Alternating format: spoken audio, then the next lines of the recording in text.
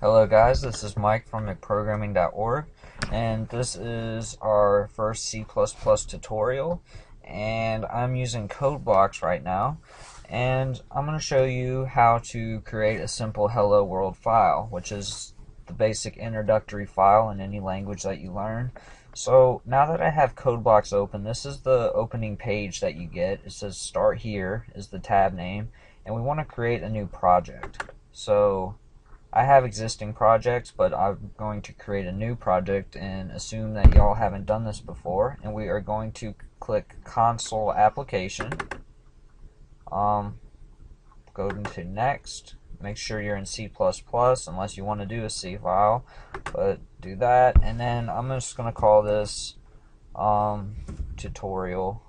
Tutorial. And notice our project file name is changing as well as the resulting file name and we can go in here and I want to change this to hello world and that changed down here as well. So our project file name and our resulting file name both change and this is pretty much just what the file is called and this is the whole um, path to that file including the workspace and all of that. So now say next uh, make sure you're compiler that you have installed is hooked up to this. I give you a bunch of options. I'm going with the GNU GCC compiler. Hit finish. Alright, and then we're going to go into our sources folder and have main.cpp, and that stands for C++. Go in there, and it auto-generated a hello world file for us. And I'm just going to go over what this means. So first we start off with pound include or hashtag include iostream, and this is just inside of these these uh, angled brackets is the file name that we want to include, and that is very necessary because if we didn't have that, it wouldn't have the definitions for this uh, std namespace that includes cout and inline. So this is run before the code is compiled so the computer or your operating system knows uh, this file. It loads this file first and then compiles so it knows what definition to use for this STD, which stands for standard. What namespace does, excuse me, is tell the compiler which uh, namespace to search in for the definitions in the standard library and in this case it's cout and inline. If we didn't have this, I'm going to comment it out, and I'll tell you what comments are later. Uh, if we tried to run that, it wouldn't work. And what we would have to do is write std colon colon, and then right here we would also have to write that. So std colon colon. And let's run, let's build this right here, and then we're going to run and it printed it out right here. This is the program that we printed out. Everything below here uh, just tells you the execution time and the pro process returned, which is zero, which is a good thing. You want zero to be returned. But we don't want to have to write all this code all the time. So we use namespace, and we don't have to write uh, std or standard. There we go. So let's build this, save it. So we're going to build this and we are going to run it and we get the same thing. So now if I had C out a bunch of times, I wouldn't have to write that annoying std standard uh, library thing. So now what is int main with these parentheses and what is these curly brackets and what's on the inside? Alright, so main is pretty much your main function and a function is set up as a return type, in this case an int, and you can have string or float or any type of primitive type right there. We'll go over that more in detail.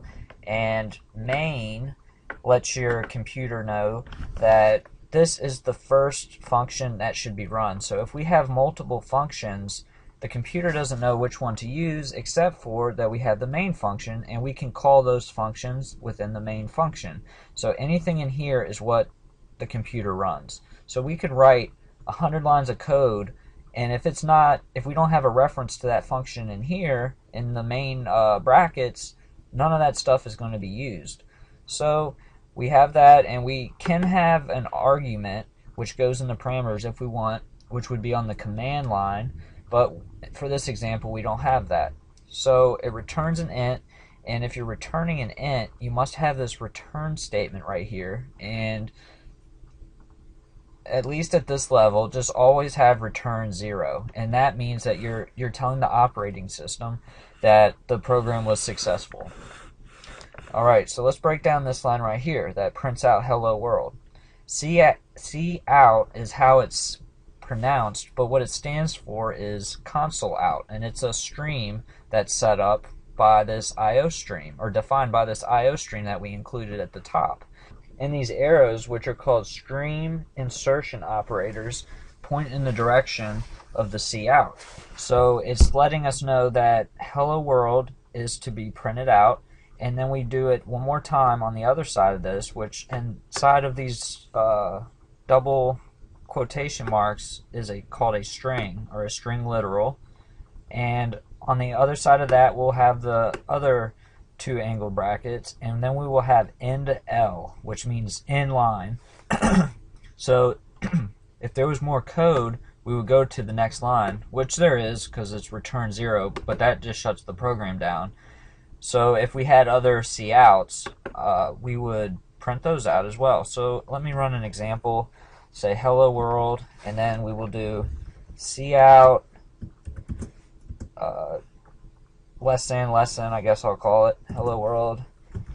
This is Mike from, if I can type from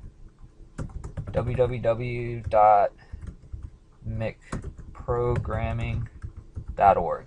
Okay, and now we want to have two more of those less than looking symbols and an end line and a semicolon. And we need to have that semicolon because that lets uh, your compiler know that that's the end of that uh, statement. Okay? And another thing we can talk about is white space. And what white space is, is this area right here is all white space. Um, anything that doesn't have characters on it is white space. And C++ ignores white space. So I can have a bunch of space in between all of these uh, all these texts right here and it wouldn't make a difference. So it's pretty much it would run if all of this was in one line, really long. So this is just merely to make it readable to humans and for structuring it and making it look pretty. So let's run this code right now. We need to build it. So let's save everything we have. And we're going to go over to this little circular yellow thing and hit build and then we are going to run it.